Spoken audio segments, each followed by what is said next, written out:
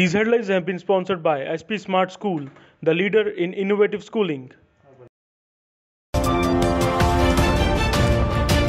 BJP दफ्तर में प्रदेश अध्यक्ष रविंदर रैना की उपस्थिति में आज विजयपुर से कांग्रेस के कई दिग्गज नेताओं ने थामा भाजपा का साथ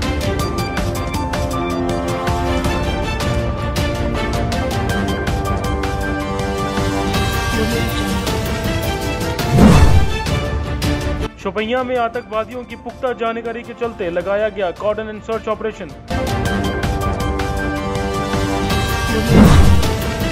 अगर स्टेट असेंबली डिसॉल्व नहीं की तो जाएँगे Supreme Court, National Panther Party chairman Harshdev Singh ने कहा। देखिए जम्मू कश्मीर में असेंबली को सस्पेंडेड एनिमेशन में रखे हुए पाँच महीने हो चुके हैं। और कोई भी इनिशिएटिव जो है नहीं लिया जा रहा है इसको डिसॉल्व करने के लिए। हमने इस संदर्भ में एक पिटीशन राष्ट्रपति महोदय को मिल गई है। हम उम्मीद रखते हैं कि उसका फैसला जल्द से जल्द होगा। और अगर नहीं होता है तो पैंथर्स पार्टी सुप्रीम कोर्ट में जाएगी और सस्पेंशन जो असेंबली की की हुई है उसको चुनौती देगी। इस असेंबली को कायदा और कानून के मुताबिक, संविधान के मुताबिक डिजॉल्व करने की मांग करेगी। कल देर रात को काजीकुंड में सीआरपीएफ की एक बटालियन में भीषण आग देखी गई। किसी के भी हताहत होने की कोई खबर नहीं। सूत्रों के हवालों से आर्म्स और अम्यूनिशन गोडाउन में लगी थी आग।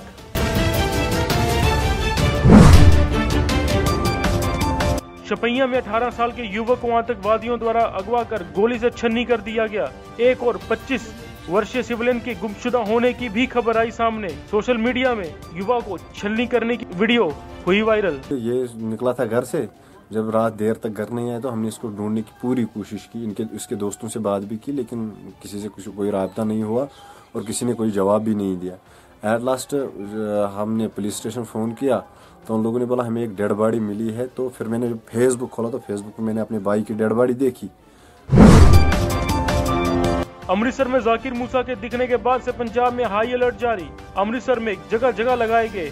जाकिर मूसा के पोस्टर्स। इसी के बाद से खालिस्तान आईएसआईएस लिंक की बात भी सामने आ रही है।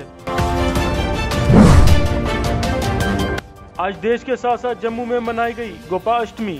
लोगों ने गौशाला जाके गाय की पूजा की। स्टेट ह्यूमन राइट्स कमीशन ने आज कश्मीर के कई बड़े प्राइवेट स्कूल को नोटिस भेजा। नोटिस में स्कूल्स को एडमिशन प्रोसीजर की डिटेल से लेकर गरीबों के लिए कोटे की जानकारी देने को कहा। बहुचर्चित कठुआ केस में पीड़ित पक्ष ने महिला वकील दीपिका राजावत को केस से हटाने की रखी अर्जी को कोर्ट ने किया मंजूर। डोगरा सदर सभा के मेंबर्स आज गवर्नर सत्यपाल मलिक से मिले। मिलकर सभा की तरफ़ से चल रहे कार्यों के बारे में की चर्चा। मीटिंग के दौरान सभा के मेंबर्स ने प्रदेश में रह रहे इलीगल माइग्रेंट्स के मुद्दों पर भी विचार करने को कहा। कुपवाड़ा के केरन में कल देर शाम एक सड़क हादसे में घायल हुए पुलिस के डीएसपी बोधराज को आज इलाज के लिए एम्स एयरलिफ्ट कराया गया। बोधराज और उनके अन्य साथी केरन में इलेक्शन ड्यूटी पर थे तैनात। डिवकॉम जम्मू संजीव वर्मा की तरफ़ से आज उनके दफ्तर में जम्मू संभाग के सभी डिप्यूटी कमिश्नर के साथ एक मीटिंग की अध्यक्षता करते हुए सिक्योरिटी फोर्सेस के लिए स्टेट लैंड आइडेंटिफाई करने को कहा। पुंछ ज़िले की तहसील सोरनकोट में 17 नवंबर से मतदान होने हैं, जिनके लिए आज सोरनकोट से सभी पोलिंग बूथों के लिए पार्टीज़ को रवाना कर दिया गया। कल हमारे दो ब्लॉकों के फ़र्स्ट फ़ेज़ में इलेक्शन सुरनकोट और बफलियाज के होने जा रहे हैं, जिसमें हमारी 25 पंचायतें सुरनकोट ब्लॉक के, अट्ठाईस पंचायतें सोनकोट ब्लॉक की ब्लॉक की हैं और 25 बफलियाज ब्लॉक की हैं। उसमें सिक्योरिटी जितनी पार्टीज़ थी इलेक्शन पार्टीज़ हमारे पास पहुँच चुकी हैं security force Reasi municipal committee के लिए भाजपा के जीते हुए पार्षदों ने भरा चेयरमैन तथा वाइस चेयरमैन का नामांकन। देखिए, मैं ये कहना चाहूँगा कि हमारे जो जहाँ पे तेरह वार्डों में से छः वार्ड हमारे क्लियर हमारे पास वोट थे, सात वोटों की ज़रूरत थी, जिसमें से चार जो निर्दलीय जीते हुए थे पार्षद, वो भी हमारे साथ हैं और आज उन्होंने हमारे साथ यहाँ नॉमिनेशन में भी अपनी प्रेजेंस दिखाई है। गवर्नर सत्यपाल मलिक ने बसंत रथ को हिदायत देते हुए कहा कि उन्हें जुनेद मट्टू को बंद गोभी नहीं बोलना चाहिए था।